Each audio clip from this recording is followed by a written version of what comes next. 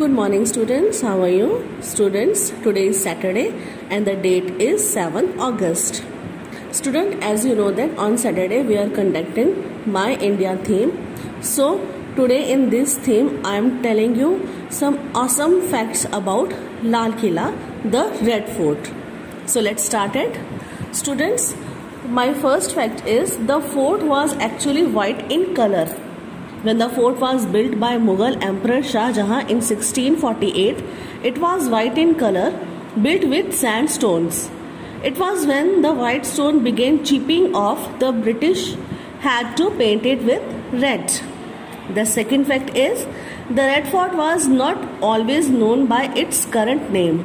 It was originally known as Qila-e-Mubarak or the Blessing Fort.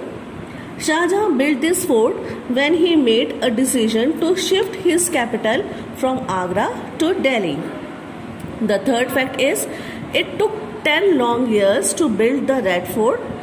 Ustad Hamid and Ustad Ahmad were the pioneering architects during the time who began the constructions in 1638 and completed it a decade later. The Kohinoor diamond was actually a part of the royal throne of Shah Jahan, located in Diwan Khas. Years later, the priceless stone was robbed by Nadir Shah.